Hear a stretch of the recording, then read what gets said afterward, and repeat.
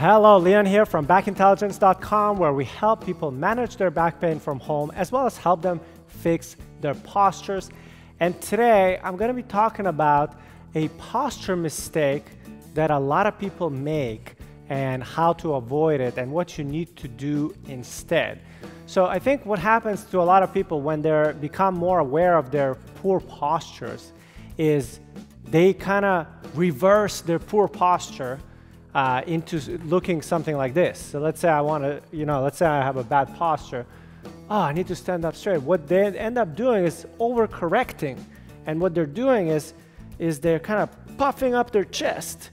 And it's kind of like this, it kind of feels, yeah, it definitely feels more straight. But right now, what you're doing is you're going the opposite way, uh, but it's still wrong. so it, you have to find the middle way. We certainly don't want this, okay? This is no good. I'm really good at showing the wrong posture because I had it for a while and now it's much better. But now this is better. But now what a lot of people do is they overcorrect. And what they do is, again, they, they um, open up their rib cage and, and their chest and and they hyperextend their low back. So actually, let, us see if you can see my low back here. Hopefully you can see it. It's hyperextended.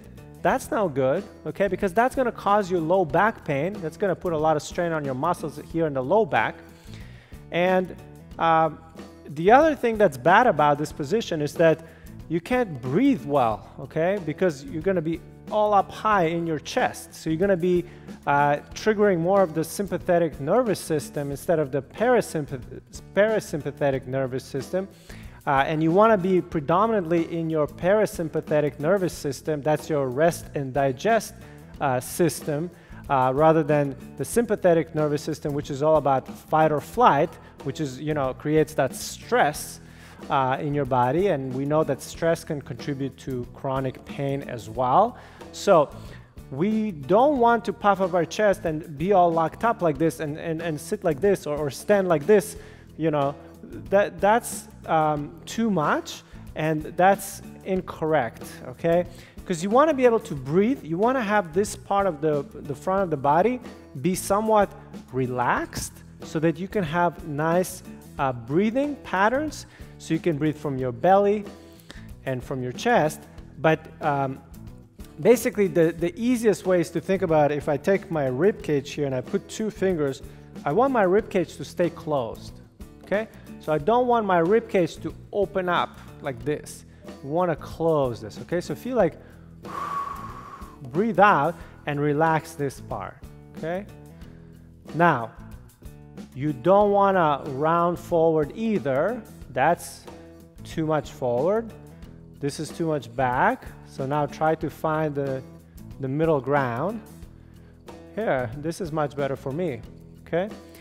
Um, you could think about a string stretching up like, like, like somebody taking you by the back of the head and just slightly, not too much again, and pulling you up a little bit.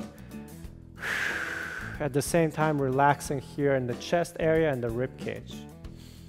And maybe a little bit pull in, but you should be able to breathe but again, not this. Hopefully you can see the difference. This is now me all tensed up, hyperextending. I'm, I'm in the anterior pelvic tilt mode, which is also not good. It can strain your low back. So we want it, if, if, I, if I again bring this thing, I, I, I, my, my, my low back should be more neutral instead of hyperlordosis, which is what this would be. So again, relax this part. You can stretch up a little bit, but feel like you're breathing and that this part is not overextending, okay? So uh, that's a, an important tip, especially for someone who's starting out new at this. You might want to sit all day like this, but that's not going to be uh, good for you and that's going to be counterproductive for what you're trying to do, all right?